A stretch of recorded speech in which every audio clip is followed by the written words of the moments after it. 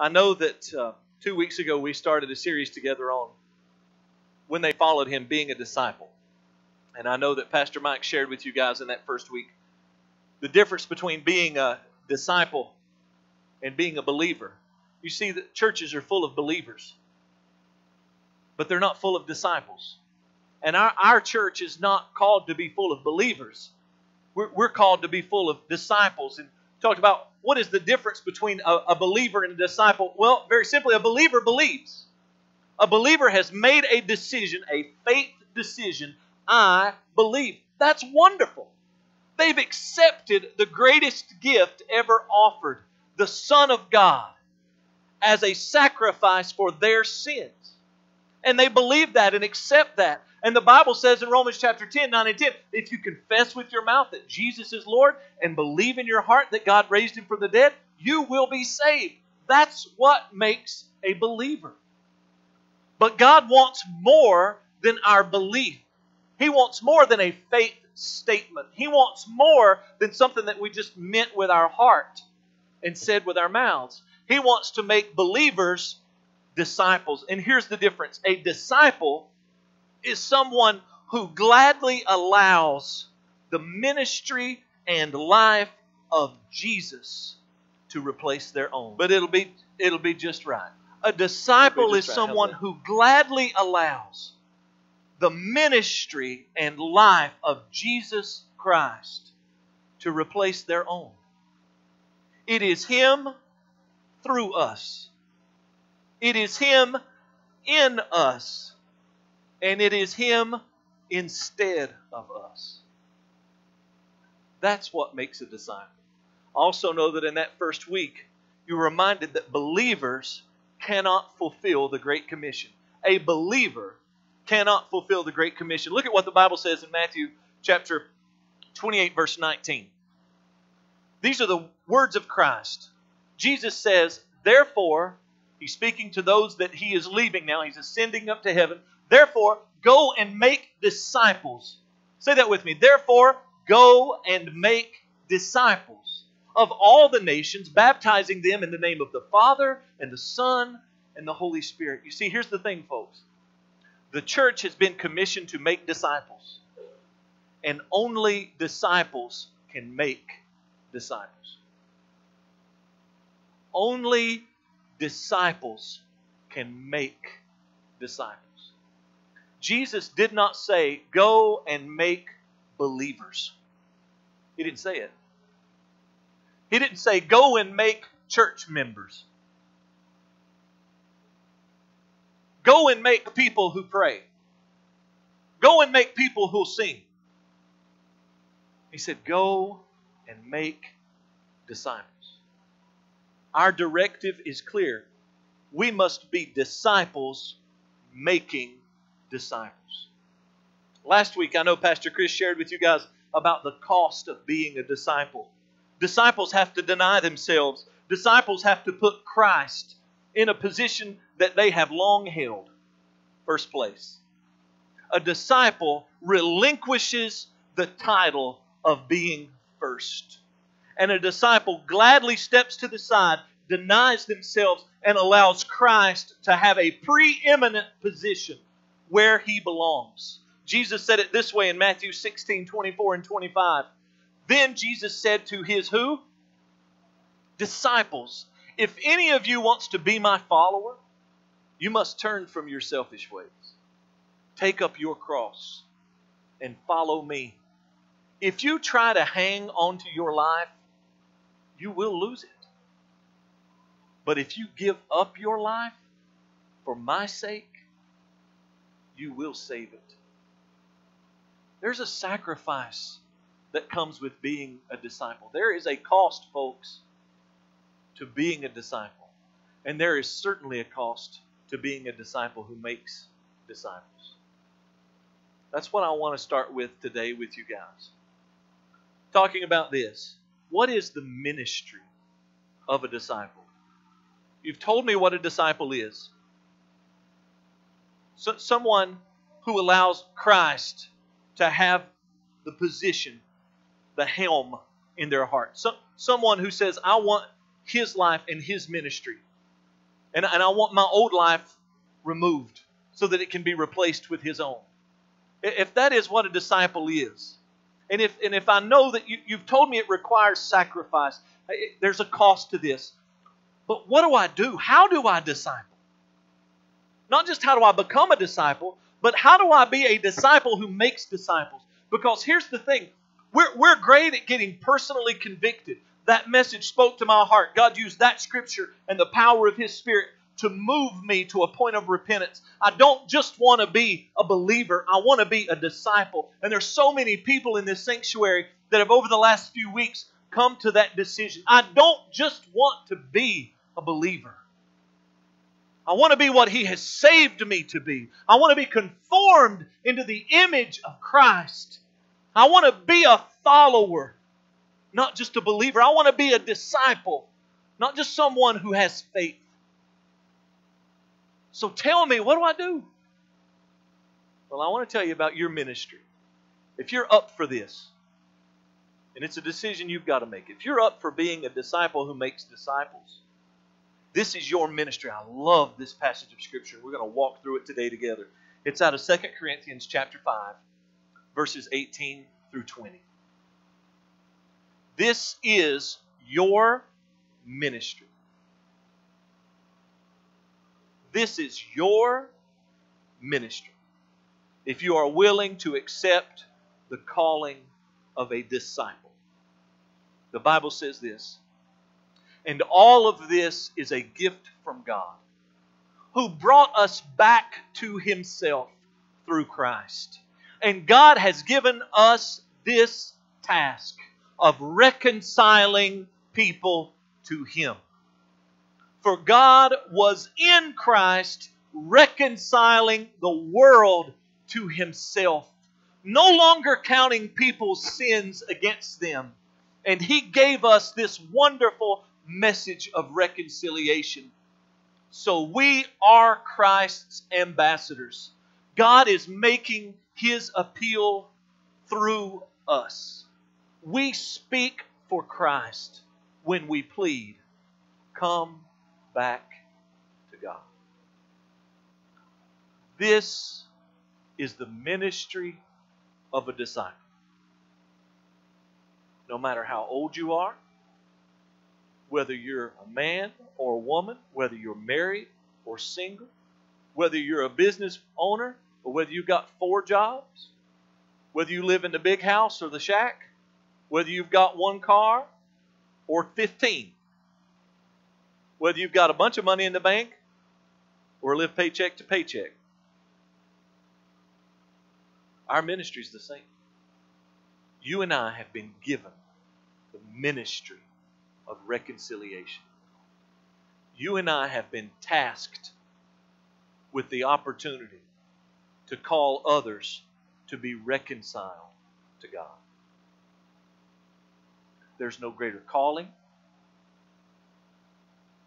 there, there's no greater function, there's no greater program, there's no greater message than this one.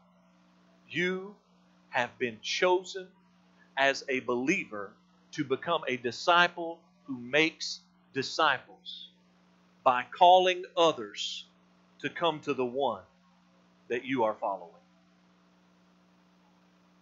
That is your job as a disciple of Jesus Christ.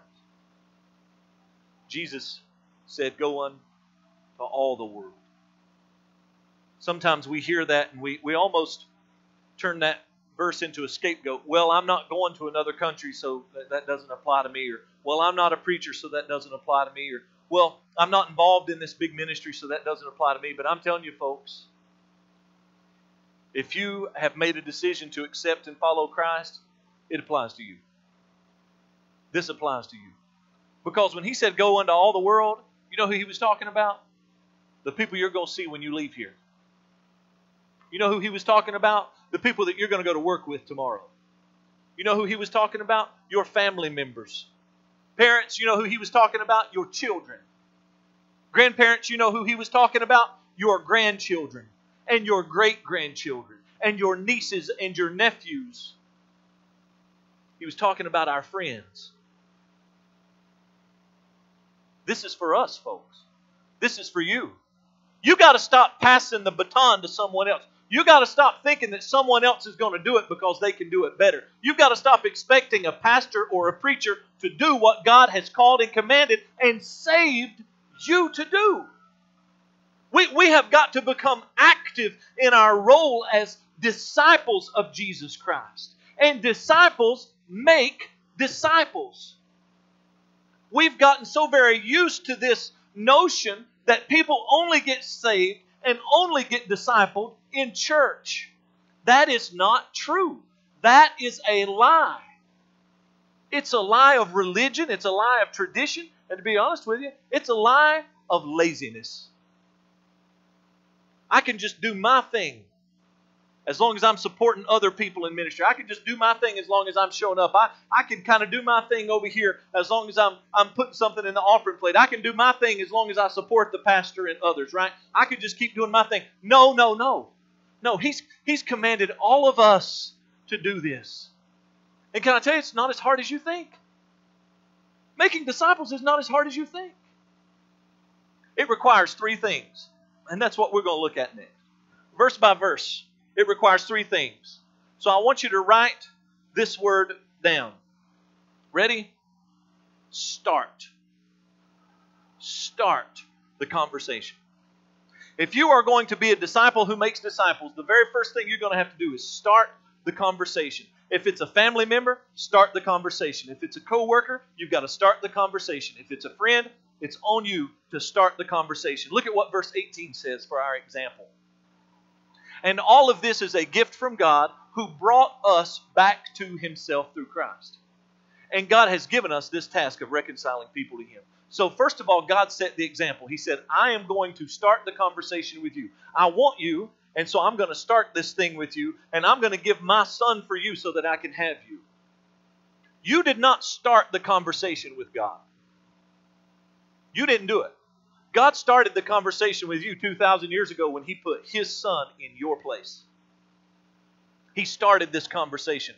I want you, and so I'm going to make a sacrifice for you so that I can have you if you are going to disciple people, you're going to have to start the conversation. You're going to have to see eternity in somebody. You don't have to see it in everybody all of a sudden because that's tough to do, but you can start seeing eternity in one person. You can see eternity in one of your coworkers. You can see eternity in one of your family members. You can see eternity in one of your friends. And what does that mean? I see them as not just being a friend or a family member or a coworker, but I see them as spending eternity in one of two places heaven or hell. I am going to start the conversation with them because I know that eternity is a long time and I want them to be with me. I am going to take the initiative and start the conversation with this person. How could we think that it would make sense to wait on someone far from God to ask us about Him? We're walking around, and if somebody asks us, we're willing to engage in conversation.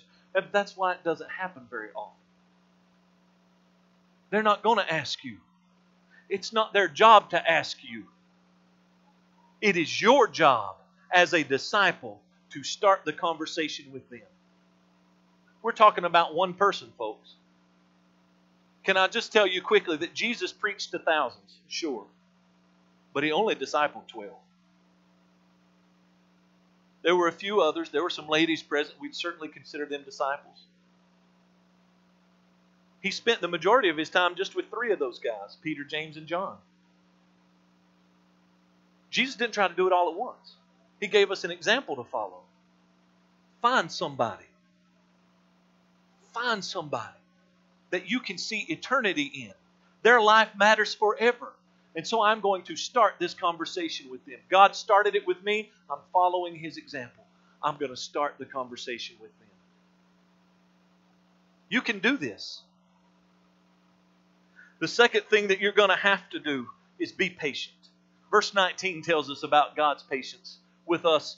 For God was in Christ, reconciling the world to himself, no longer counting people's sins against them, and he gave us this wonderful message of reconciliation. Now, I want us to read through that verse again, and I want you to try and find the patience of God here. Are you ready? For God was in Christ, reconciling the world to himself, no longer counting people's sins against them. And he gave us this wonderful message of reconciliation. Do you see the patience there? Do you know what you and I get hung up on all the time? Not necessarily our own sin, but the sins of others. Not our own faults, not our planks, but the specks in other people's lives, the sins in their lives, the things that are wrong with them. You're not going to be able to disciple people if your focus is on their sin. Listen to me, this is important. You're not going to be able to disciple people if your focus is on their sin. God's focus was not on our sin. Listen, God's focus when He put Christ on earth to the cross was not on our sin. You ready? It was on us. God loved us in spite of us. God wanted us in spite of all the hang-ups. God wanted us in spite of all the times that He knew we'd let Him down. God wanted me in spite of all the times that I have blown it big time. Big time. God did not let my sin keep Him from pursuing me. You cannot let the hang-ups in someone's life keep you from pursuing them for Christ. Because here's the thing you're going to pick out this person.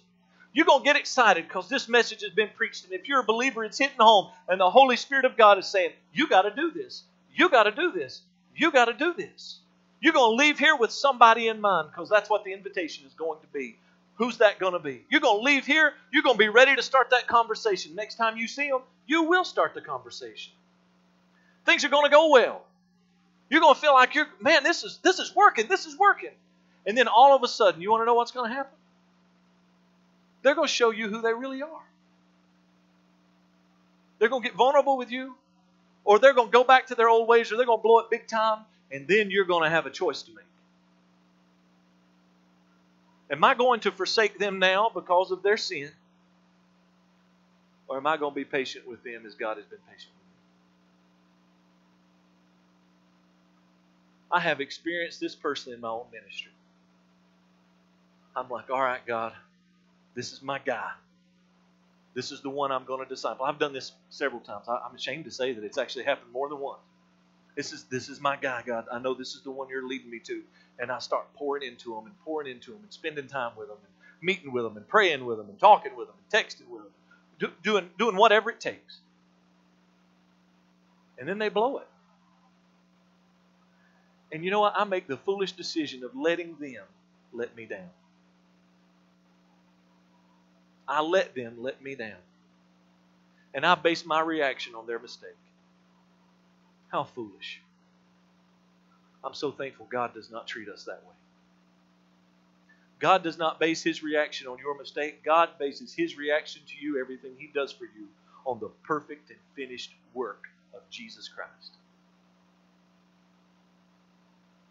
His love for you is not based on your goodness for Him, it's based on Jesus. That's the example I'm supposed to follow. That's the example that you're supposed to follow. We get let down. I see heads nodding. We get let down, don't we? Yes, we do. And, and we feel like, well, I'm just going to be done with them. Be patient with them. Be patient with them. Just as someone somewhere was patient with you just as God has long been patient with you. Be patient with them. Discipling people is not easy, it takes time. They're not going to get it overnight. I didn't. You didn't. Some of you are just now being discipled because God's brought you here. You've never been discipled. You've, you've never had an opportunity to, to really form relationships and, and have other people, more mature Christians, pouring into you. You've never had it. Now that you're here, you're, you're seeing what that looks like. And, and you've got to replicate that outside of this place because everybody's not going to come to church here. But everybody needs what you're getting here. So you're going to have to take it to them. And you're going to have to start making sacrifices and investing and initiating a conversation and bringing up tough stuff. You're going to have to do all of that. And they're going to mess it up. They're going to blow it. And then you've got to make a decision. Am I going to persevere? Am I going to be patient with this person and keep on showing them what others have shown to me and what God has surely given to me? Or am I going to let them go and go try somebody else? Real quick example just look at the relationship that Jesus had with Peter. Just look at the relationship that those two had. So many different times, Peter just blew it. I mean, Peter just, he's saying stuff that, you know, what were you thinking, dude? Right? Over and over, multiple times. And that's not in Scripture by accident. That's there so that God can show us the patience that He has with people. And look at how Christ restored him before he left. Christ restored him to himself, and then he restored him to his ministry. He said, Feed my sheep, feed my sheep, feed my sheep. That's the patience you and I are going to have to exhibit with people if we're going to disciple them. The last thing is this. Let's look at verse 20.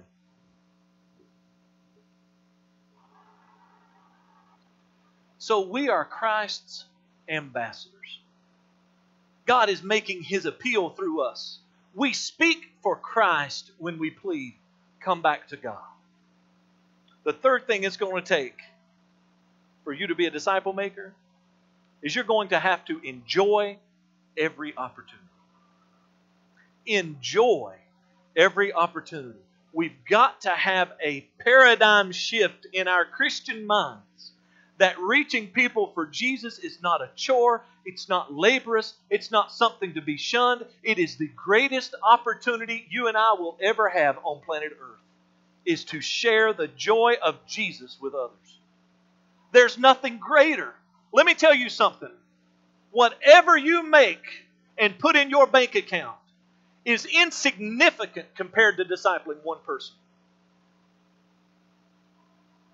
However big your house is, however nice your cars are, they are insignificant compared to discipling one person. Not three people, not 12 people. In eternity, one person matters more than everything you'll ever own.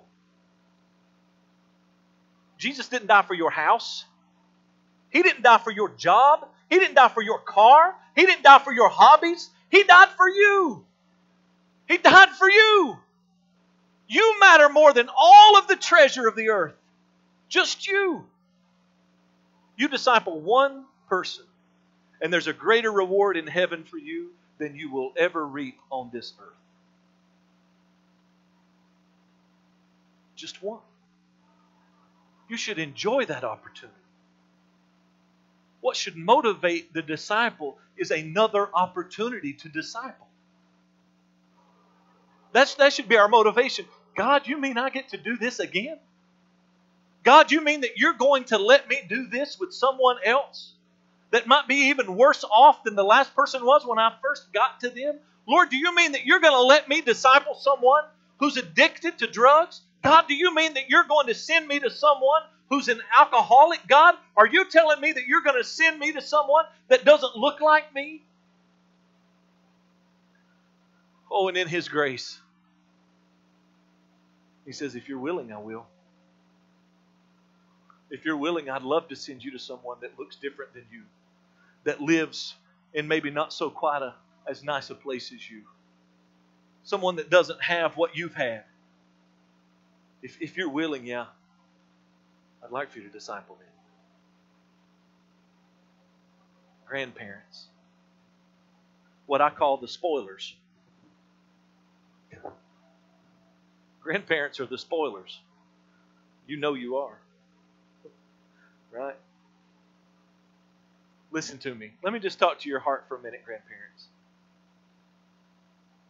You have the honor of discipling your grandchildren.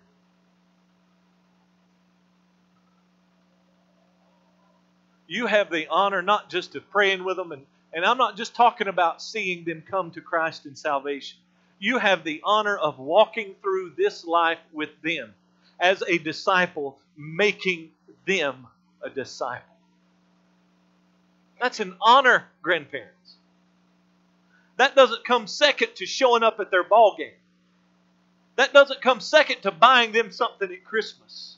There's nothing greater that you will accomplish than discipling your grandchildren. Parents, moms, dads,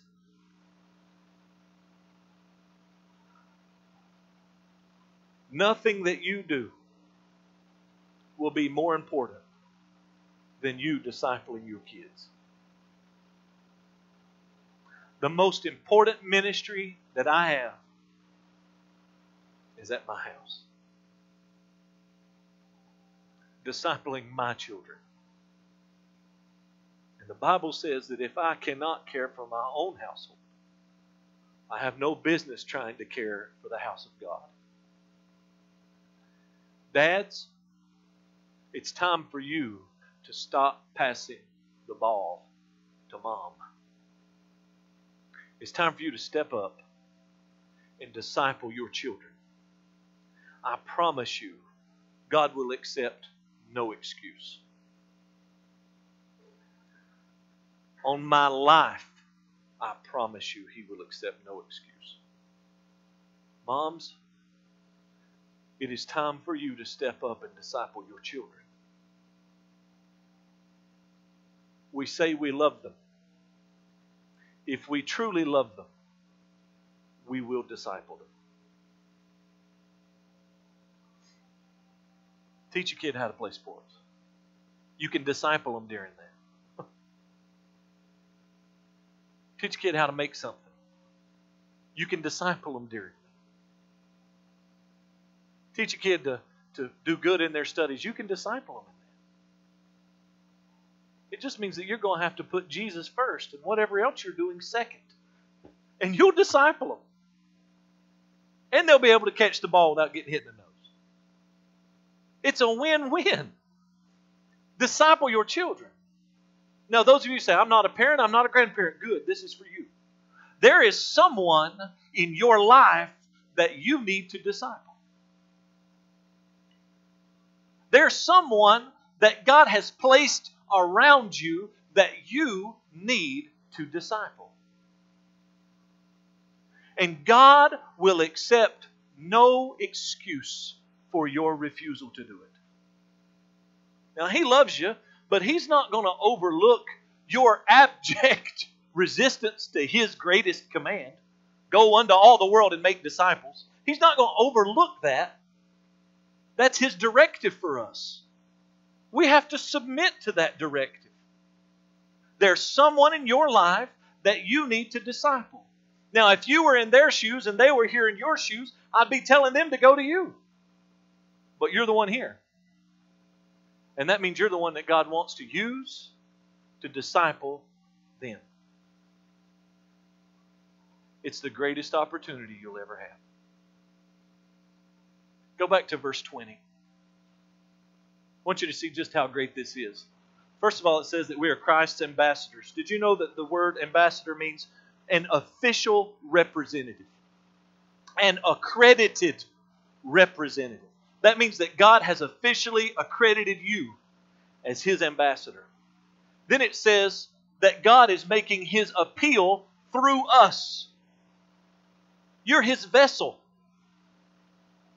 You should enjoy the fact that God is willing to use you, your vessel, to disciple someone else. And then it says, We speak for Christ when we plead, come back to God. Do you understand what that means? You are the mouthpiece of God when you disciple someone, when you fulfill your role as a reconciler from someone lost to a God who wants to see them saved, when you take your place in that ministry, you are the mouthpiece of God. You ought to enjoy that. There's nothing greater than that.